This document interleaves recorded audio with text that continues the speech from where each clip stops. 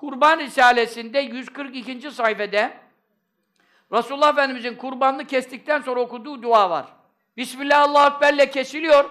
Ondan sonra sünnet olan üç satır, iki satırlık bir dua var. Haza minke ve ileyke inne salati ve nusuki ve mahyaya diye devam ediyor. Bak hep biz kurban kesiyor, birçoklarımız kurban kesiyoruz. Burada da sünnet-i seniyeyi terk etmeyelim. 142. sayfadaki bu risale çok eskiden beri var. Ama bu duayı diyemedik herhalde. İnşallah kurbanımızı keser kesmez, başı kesilir kesilmez hemen bu duayı Resulullah Efendimiz'e ittiba niyetiyle okumayı Rabbim cümlemize nasip eylesin.